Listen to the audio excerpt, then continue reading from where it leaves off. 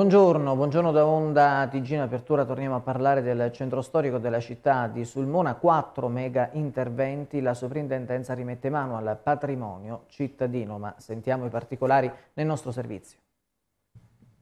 Quattro mega interventi di riqualificazione dei siti monumentali cittadini per un importo che si aggirerebbe intorno al milione di euro è il progetto della Sovrintendenza delle Belle Arti che nelle scorse settimane ha incontrato il settore tecnico e politico di Palazzo San Francesco per illustrare le particolarità degli interventi da eseguire che riporteranno in auge il patrimonio storico della città di Sulmona. Sono quattro le aree monumentali che saranno oggetto di un'accurata operazione di restyling. L'arco di Porta Napoli che dovrà essere riportato alle origini, la chiesa di Santa Caterina in via Angeloni che sarà sistemata in toto, il tetto compreso, la rotonda di San Francesco che prevede tra le altre cose il rifacimento della scalinata e l'acquedotto medievale con il consolidamento degli archi. Almeno tre dei quattro interventi previsti potrebbero essere realizzati entro il 2020. Lo scoglio più grande da superare è il progetto che interessa la rotonda di San Francesco poiché prevede il coinvolgimento anche dei privati. Sarà nostro compito organizzare un incontro per fare il punto della situazione e delimitare il confine tra la proprietà pubblica e quella privata,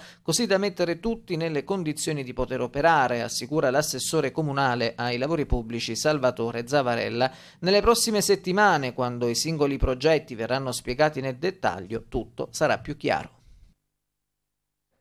E questa mattina la situazione degli incendi all'Aquila è eh, sotto controllo rispetto a quella dei giorni scorsi. Le forti piogge di ieri hanno aiutato a domare le fiamme, per questo non è stato richiesto l'intervento dei Canadair. A renderlo noto è il sindaco dell'Aquila Pierluigi Biondi. Al momento sono in azione 100 vigili del fuoco e 50 alpini del nono reggimento dell'Aquila per le operazioni di spegnimento e bonifica a terra, oltre a 58 unità di protezione civile civile. Operativi anche funzionari e tecnici del Comune per fornire tutto il supporto necessario, mentre un elicottero effettua lanci puntuali d'acqua sugli ultimi fumaioli.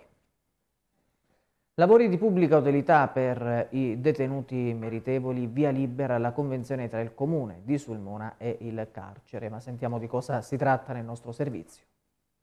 Ripulitura delle strade in occasione di eventi particolari, manutenzione dei giardini e delle aree pubbliche, pulizia del verde, dei siti archeologici, sono queste alcune delle attività che il Comune di Sulmone e la Casa di Reclusione hanno individuato per i lavori di pubblica utilità da sottoporre ai detenuti meritevoli, quelli cioè che stanno portando a compimento il percorso di rieducazione sociale. Si tratta di lavori non retribuiti ma utili alla comunità. Un'attività simile fu posta in essere nel luglio del 2012 nell'era Federico, quando era assessore alle politiche sociali Mariella Iommi. Il comune quindi ha dato seguito al percorso avviato con la casa di reclusione, con delibera di giunta numero 145 del 31 luglio scorso, sindaco e amministratori di Palazzo San Francesco hanno approvato approvato lo schema di convenzione per i lavori di pubblica utilità, toccherà ora al primo cittadino sottoscrivere materialmente l'accordo. L'intento della Cassa di Reclusione è quello di promuovere e realizzare interventi di politica attiva del lavoro a favore di lavoratori e persone appartenenti a categorie in condizioni di svantaggio e che hanno difficoltà a inserirsi nel mondo del lavoro impiegandoli in attività di lavoro di pubblica utilità per interventi di natura straordinaria.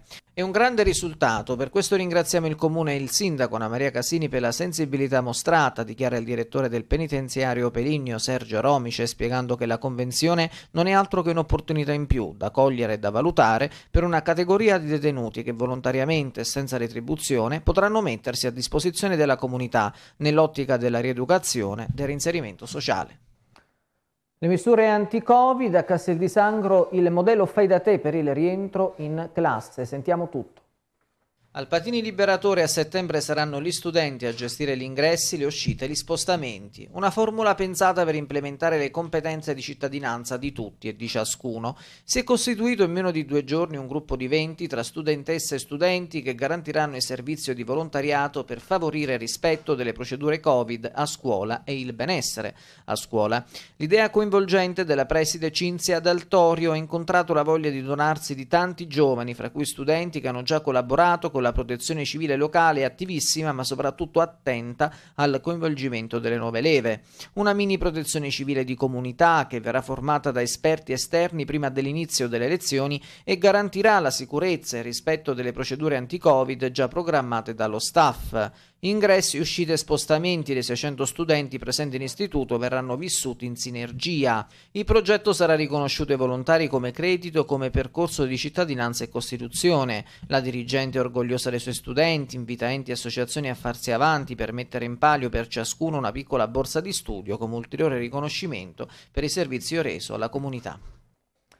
Operazione Turismo tutto in una brochure, il comune di Pettorano sul Gizio presenta l'iniziativa Gaetano Trigilio.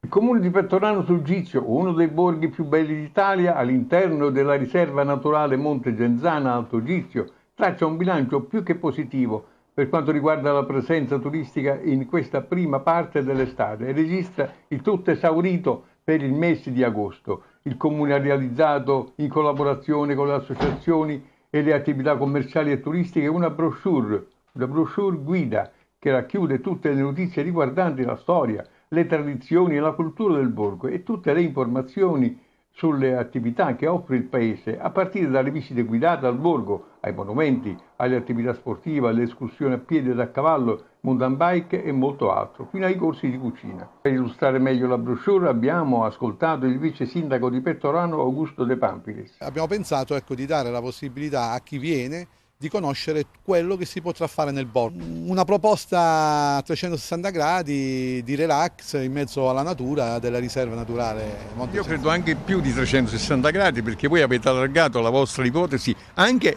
ad altre zone che non sono il territorio del vostro comune ma sono l'intero comprensorio della Valle Pedigna. Perché questa scelta?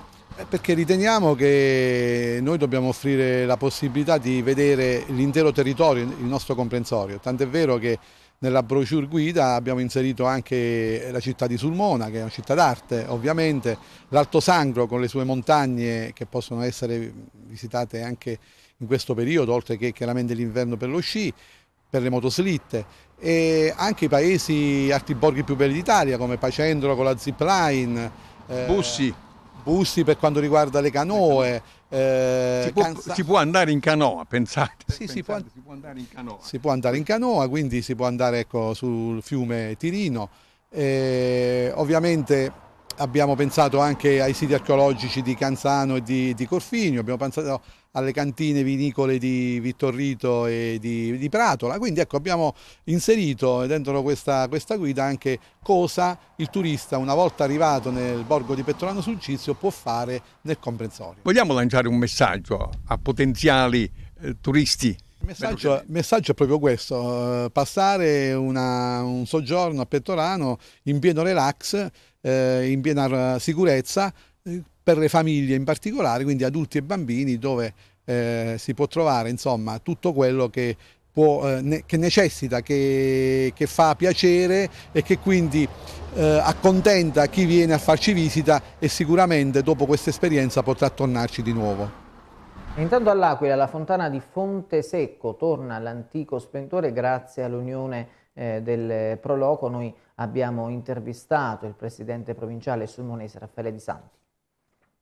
Il sogno diventa realtà per eh, l'Umpli, l'Aquila, per la città dell'Aquila con il restauro della eh, fontana eh, di Fonte Secco dopo il sisma del 2009, il taglio del nastro ci sarà il prossimo 6 eh, agosto l'emozione è già palpabile avendo in mano il nastro tricolore che sancirà la rinascita di un luogo eh, simbolo del patrimonio storico-culturale del capoluogo di regione. Con Raffaele Di Santi, presidente Umpli L'Aquila, ecco, cerchiamo di riavvolgere il nastro. Che lavoro c'è stato dietro per addivenire al restauro di questa fontana?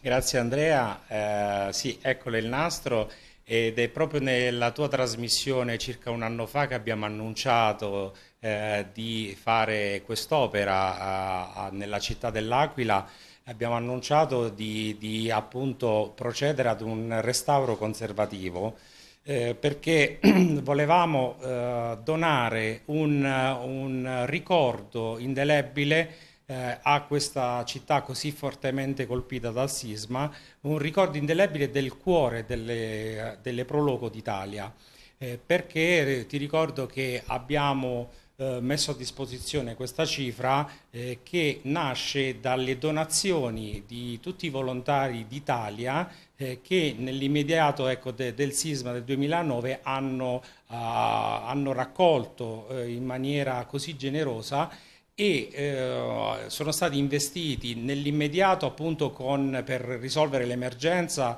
anche delle proloco disastrate appunto quindi acquistando cucine mobili, camper, pulmini e poi finita ecco, l'emergenza immediata eh, sono stati di fatto reinvestiti ed ecco che abbiamo la liquidità di circa 38 mila euro e un anno fa annunciammo questo importante lavoro. Beh, non pensare, tornare a pensare alla tragedia del terremoto del 2009 perché diciamo purtroppo tutto è nato da lì e noi abbiamo scoperto fra l'altro che Raffaele Di Santi è stato insignito anche della medaglia di bronzo a valor civile per il servizio reso come volontario eh, diciamo nel post terremoto. Allora che valore assume questo restauro alla luce del vostro impegno in quel, in quel, momento così tragico. È proprio nel privato che mi ha colpito eh, la possibilità e mi ha dato la spinta ulteriore di fare di promuovere questa, questa iniziativa all'Aquila, eh, perché come tutti i volontari di protezione civile che hanno dato tanto, eh, tantissimo, io sono solo una goccia nel mare, uno come tanti, eh, che ha scavato, che si è impegnato, si è dato da fare. Io ho collaborato con il gruppo di protezione civile del comune di Sulmona e sono tutte persone stupende e le ringrazio e le saluto. E, e l'insegnamento più grande che ho avuto in quel periodo è stato proprio quello di donare e quello di dedicarsi per gli altri, che poi di fatto è anche uno dei principi delle, del prologo del volontariato, dell'associazionismo in genere. Quindi diciamo si sono fuse in una persona sola in questo caso eh, questi, questi principi ed avendone la possibilità ed ecco qua che abbiamo proposto questa, questo progetto. Torniamo a Sulmona, sequestra il negozio di eh, lingerie perché la moglie spende troppo, una simpatica trovata umoristica, ma sentiamo meglio.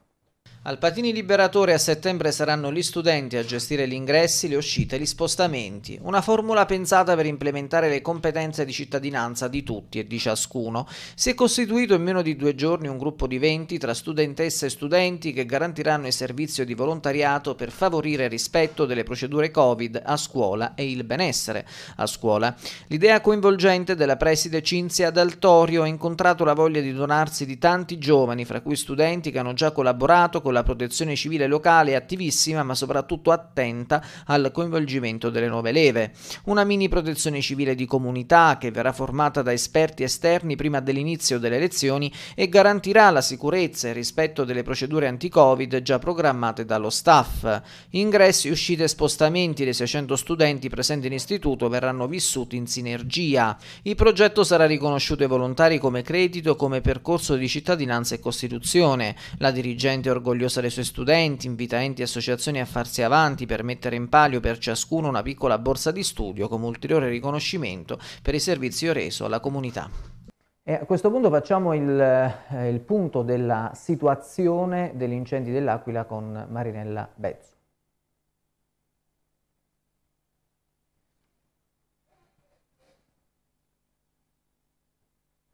Dopo sei giorni di fiamme, l'Aquila tira un sospiro di sollievo. Ieri sera è arrivata la tanto attesa pioggia. Un violento temporale sotto forma di nubifragio e grandine è scoppiato poco dopo le 19 nella zona ovest della città, proprio là dove sono scoppiati gli incendi dei giorni scorsi e i monti di Pettino e Canzatessa hanno smesso di fumare.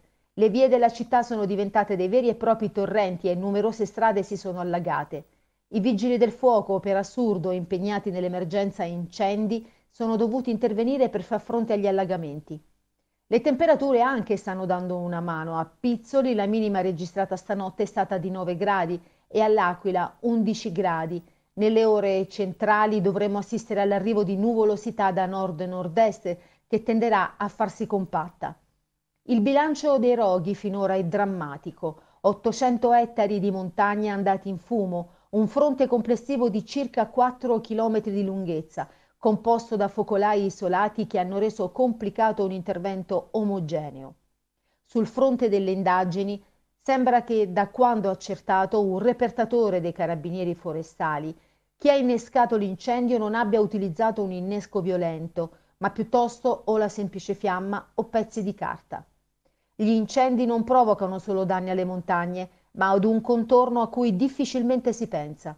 Prima di tutto la paura, quella degli uomini, che si sentono minacciati dalle fiamme, vedendo andare in fumo ciò che con sacrifici hanno costruito, e prima di chiudere vi invito sempre a visitare il sito internet della nostra emittente televisiva www.ondatv.tv per restare aggiornati ovviamente su tutte le notizie. Davvero tutto per questa edizione. Onda Rigi come di consueto torna questa sera alle 20.10. Grazie per essere rimasti con noi. A tutti buon pomeriggio.